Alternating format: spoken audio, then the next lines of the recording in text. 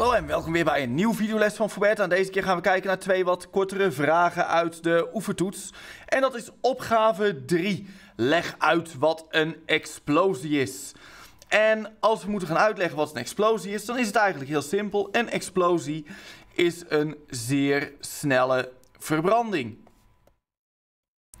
En dan kunnen we daar natuurlijk wat andere dingen bij doen. En dat komt doordat we een goede zuurstof brandstofmix hebben.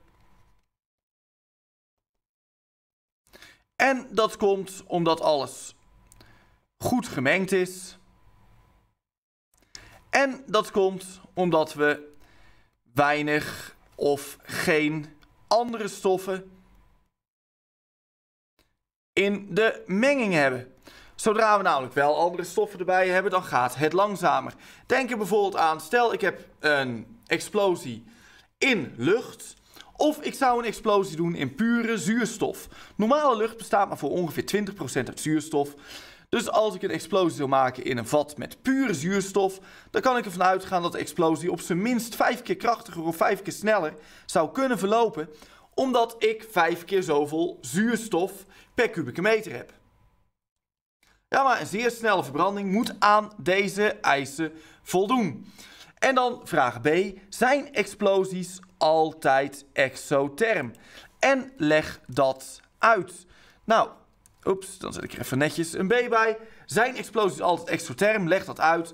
Nou, een explosie moet wel exotherm zijn. Want anders dan kan de reactie nooit zoveel versnellen. Um, Want de reactie versnelt eigenlijk altijd tijdens de explosie. En dat betekent dat de temperatuur omhoog moet gaan.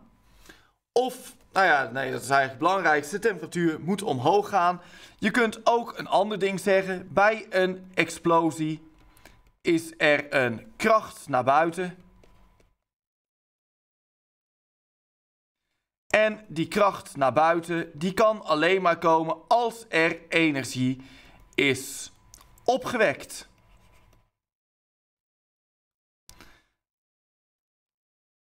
Goed, dit was opgave 3. Ga ik gelijk even door naar opgave 4 van deze oefentoets. Aardgas verbrandt sneller dan houtskool. Geef daarvoor een verklaring. Nou, die is eigenlijk heel flauw. Gas is veel beter gemengd met zuurstof. Um, je zou zelfs kunnen zeggen, houtskool moet eerst verdampen. En dan denk je van, huh, houtskool moet eerst verdampen. Maar dit is echt serieus waar. Houtskool dat je ergens neerlegt, dat zal niet uit zichzelf verdampen, maar als de temperatuur hoog genoeg is, dan krijg je eerst een thermolyse van het houtskool. Die thermolyse, dat ontbinden doordat hij zo lekker warm wordt, die levert op dat er onder andere wat houtgassen zullen ontstaan. En die houtgassen die je hebt, die zullen mengen met lucht. En pas als we zo ver zijn dat de gassen die door thermolyse zijn ontstaan gemengd zijn met lucht. En dat ze goed gemengd zijn met de zuurstof, dan zullen ze verbranden. Maar dat zijn heel veel meer stappen dan dat je natuurlijk bij aardgas hebt.